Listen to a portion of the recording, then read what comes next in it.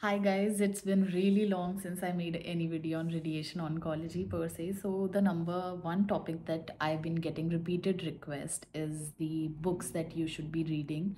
So I made a list and I'll be telling you from that and uh, I'll be putting the names of the books uh, in the description so you can go ahead and check out those. So I'll tell you uh, from the first year like how you start reading and uh, how you can get your books. So, the most important book uh, in your first year of residency in radiation oncology is AJCC Manual of Staging. Yes, so it has like seven or eight uh, editions till now. I think the current one is eighth edition.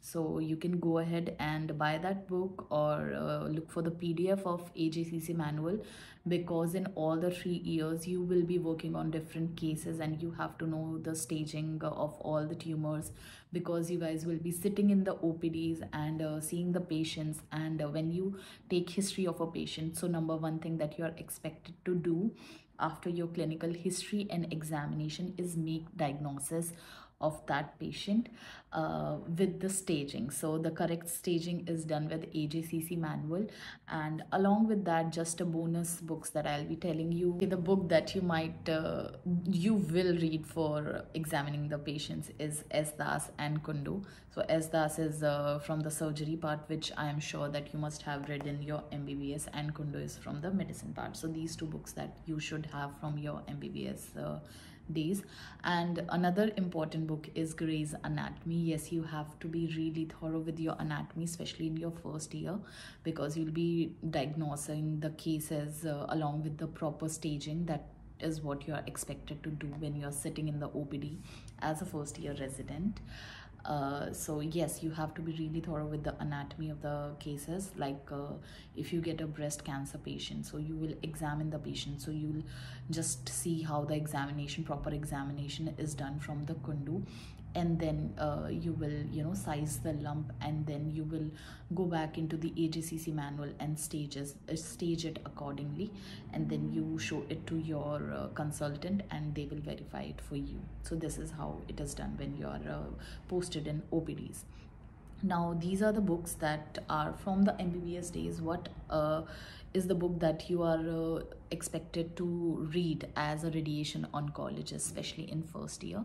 So the first year if i have to pick two subjects that are most important as a first year resident as a radiation oncologist are radiobiology and physics apart from the anatomy of course. So radiobiology you will be having many classes on. So it is uh, the um, it is the subject where you will be knowing uh, how a radiation kills a tumor. So what is the biology that goes inside a tumor when a radiation hits a tumor? So that is uh, all what radiobiology talks about. There are various graphs and various mechanism. So the book for that is there are two books ej hall or kogel. So we used to read ej hall and sometimes kogel so you can read any one of them. I'm telling you obviously the books that i have read uh, myself as a resident and of course different centers have can have different uh, books and preferences. And there are also some other additional books uh, that you will be reading in your final year that we'll talk about later now talking about uh, the uh, physics part.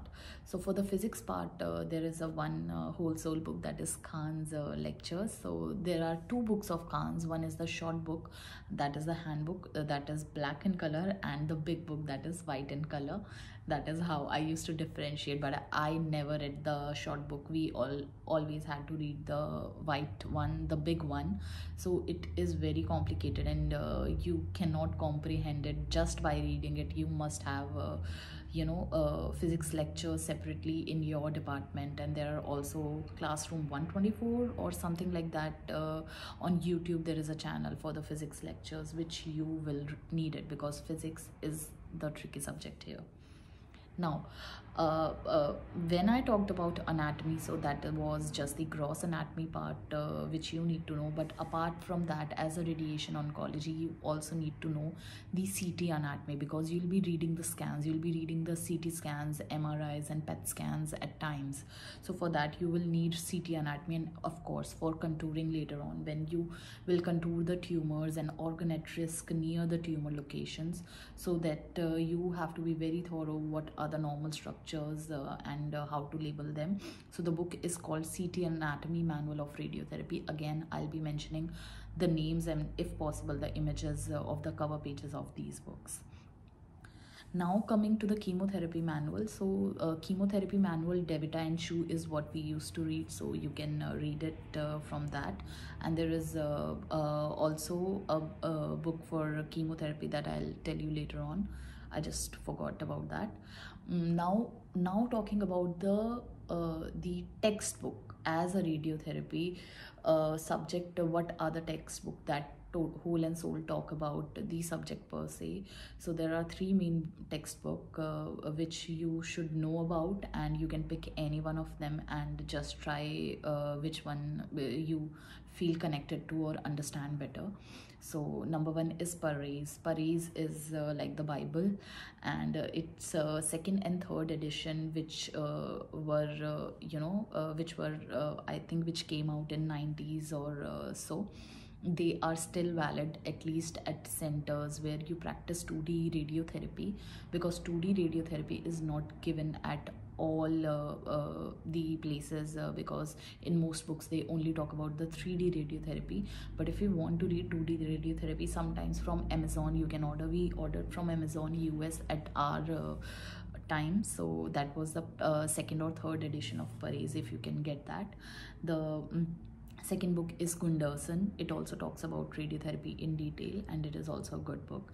And third is Devita. Devita just not only talks about radiotherapy but also chemotherapy. This is another book uh, that uh, you might read. Now these are the most important books that you should know about. Apart from these books, there are some books that uh, you can refer when you know you have some confusions or queries and uh, they are not the textbook but you can always take uh, help from them. So though these are the books that uh, i'll be mentioning uh, in the description again because i have not noted them down. So just uh, apologizing for not making that list thorough list but i will putting them in description. And if you have any queries regarding the books or the syllabus or anything just uh, shoot in the comments. And uh, if possible share this video like this video so that i know that somebody is watching it. And uh, till that uh, just take care and